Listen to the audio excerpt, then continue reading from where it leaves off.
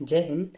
स्वागत है आपका अपने चैनल मटकाइन पर और आज हम बात करने वाले हैं मिनोकेम एन सॉल्यूशन के बारे में। तो हम बात करेंगे इसके कंपोजिशन के बारे में, इसके यूजेस के बारे में कौन कौन से ब्रांड्स मार्केट में अवेलेबल हैं? क्या इसका साइड इफ़ेक्ट्स हो सकता है? कितने टाइम इसको अप्लाई करना है?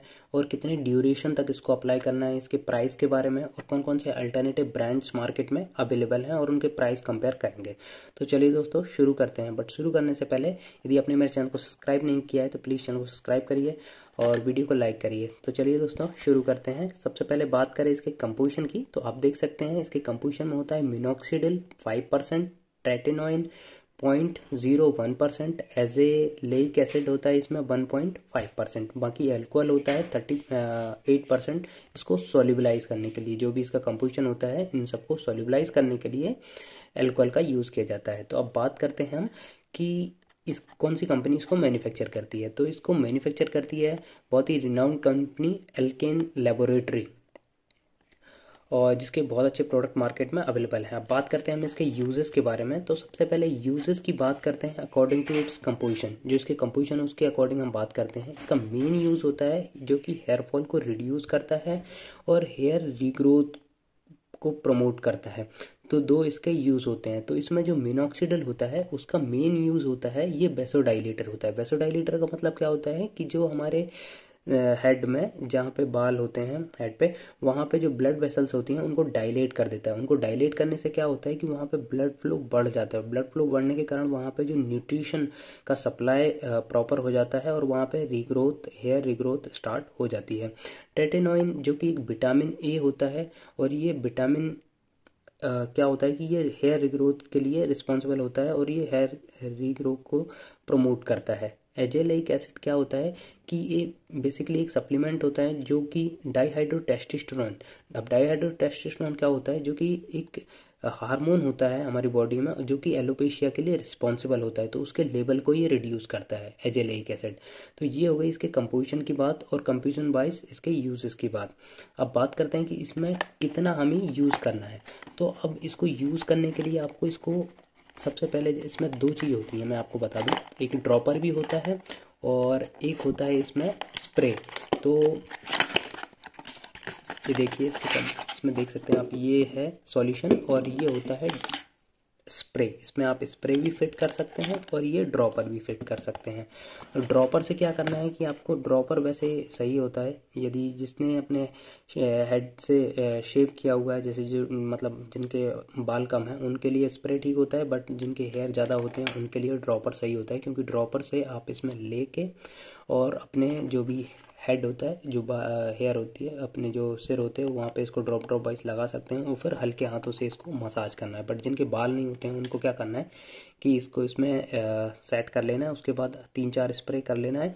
स्प्रे करने के बाद अच्छे से उसको मसाज कर लेना है, ताकि वो पूरे में फैल जाए और उसको ओवरनाइट के लिए छोड़ देना है। सेम इसको सुबह भी करना है, नहाने के बाद आप इसको कर सकते हैं। और इसको दो बार ही, दो बार से ज़्यादा अप्लाई ना करें। और इसमें थोड़ा सा कॉशियस आपको रखना होता है कि देखिए इसमें एक लिखा हुआ है क्वेश्चन कि remember to wash your hand and with soap and water after each application मतलब आपको हाथ धो लेने हैं और replace the safety clip with when not in use और जब यदि आपको यूज़ नहीं है तो इन जो सेफ्टी वगैरह है इनको रिप्लेस कर लें और उसके बाद इसको टाइटली क्लोज कर दें क्योंकि इसमें एल्कोहल होता है। एल्कोहल कारण इसमें इवोपोरेशन जारी रहता है। इसलिए इसको आ, इसकी क्वांटिटी कम होने से रोकने के लिए हमेशा इसको टाइट कंटेनर में रखना चाहिए।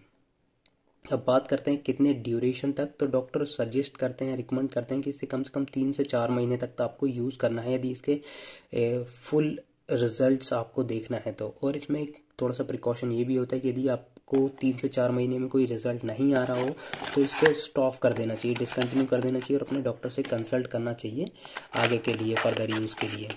अब बात करते हैं कि कौन कौन से साइड इफ़ेक्ट्स हमें देखने को मिल सकते हैं। तो इसके मेजर साइड इफ़ेक्ट्स में जो होता है, जो साइट ऑफ़ एप्लीकेशन पर इरिटेशन आपको देखने को मिल सकती है। मतलब इसका मतलब क्या होता है कि जहाँ पे आपने अप्लाई किया हेयर में, वहाँ पे थोड़ा खुजली वगैरह ये दिख सकता है और रेडनेस टाइप की दिख सकती है आपको वहाँ पर। तो यदि बट ये तो टेम्पररी एडवर्स इफ़ेक्ट होते हैं तो इनको ज़्यादा सीरियसली नहीं लेना चाहिए। हेडेक भी हो सकता है बट हेडेक होता है तो अपने डॉक्टर से इसको कंसल्ट करना चाहिए। अब बात करते हैं कि किन किन कंडीशन में इसको यूज़ नहीं करना चाहिए। तो सबसे पहले जो प्रेग्नेंट लेडी होती हैं या ब्रेस्ट फीडिंग जो कराती हैं, उनको ये नहीं यूज़ करना चाहिए क्योंकि ये अनसेफ होता है और अभी तक ऐसी कोई डिटेल्ड स्टडी नहीं आई है कि कि उनमें ये सेफ़ होता है। तो ये जो प्रेग्नेंट लेडी होती हैं और जो ब्रेस्ट फीडिंग करती हैं, उनके लिए इसको यूज़ नहीं करना चाहिए। अब बात करते हैं इसके प्राइस के बारे में। तो आप देख सकते हैं इसका प्राइस होता है आठ सौ रुपये साठ एम का। अब देख सकते हैं, ये एल्किम कंपनी का है और ये साठ एम एल आठ सौ रुपये का आता है। ये बहुत कॉस्टली होता है। अब बात करते हैं कि कौन कौन से ब्रांड मार्केट में अवेलेबल हैं। यहाँ दोस्तों आप देख सकते हैं, यहाँ पे एक मीनो कैम एन है, जो कि चार वेरिएंट में अवेलेबल है। बाकी सेल टॉप ए भी है, जिसे कि और इसमें तीन सौ अड़तीस से लेके तीन सौ अड़तीस एक ही वेरिएंट इसमें अवेलेबल है।